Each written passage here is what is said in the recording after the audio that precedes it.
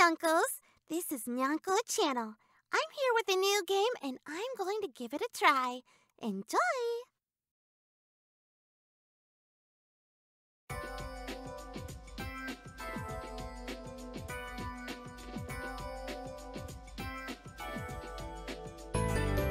私トゥルククラージュ謎の組織に捕まって装備を改造されてエッチなスーツにされちゃったでも完全に制御は奪えなかったみたいで脱走したり施設を壊してたら研究所の人が提案をしてきたの。なんと研究所の人たちが用意したステージを全てクリアすれば解放してくれるんだって。なんだ簡単じゃん。こんなのパパッとクリアしてさっさと脱出しちゃおう。ディルクちゃんとエッチなラブラトリー。